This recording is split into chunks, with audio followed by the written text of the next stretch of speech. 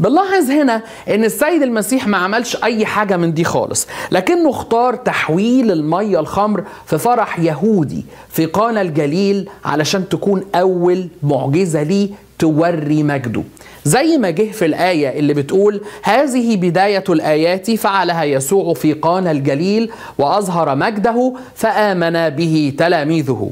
خدوا بالكم المعجزة دي هو عملها في قانا الجليل قبل ما يبين حكمته العظيمة كمعلم وقبل ما يعلن سلطانه المطلق على الأرواح النجسة وحتى قبل ما يشوف الناس قدرته العجيبة كشافي للأمراض المختلفة. الأكثر من ده إن التعبير اليوناني اللي استخدمه معلمنا يوحنا البشير لوصف المعجزة دي هو بداية الآيات. أرخن تون سيميون. وكلمة أرخن هنا معناها مش بس بداية المعجزات لا دي معناها المعجزة الرئيسية تشيف بالإنجلش. وعشان دي معجزة مش زي أي معجزة سماها بداية الآيات. ودي مش مجرد بداية للآيات لكنها برضو رأس الآيات أو الآية الرئيسية. نحن إذا أمام المعجزة الرئيسية للسيد المسيح طب ليه؟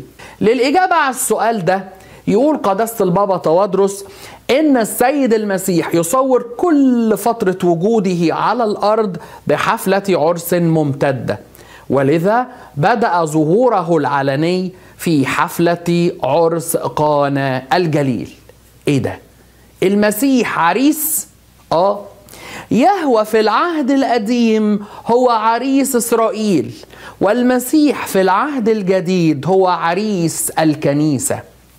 في العهد القديم يهوى عريس إسرائيل فيقول أشعيا النبي لأن بعلك دي جاية من العبرية بعال بعل يعني زوج هو صانعك رب الجنود اسمه ووليك قدوس إسرائيل. يبقى يهوى في العهد القديم هو بعل إسرائيل هو زوج إسرائيل هو عريس لها.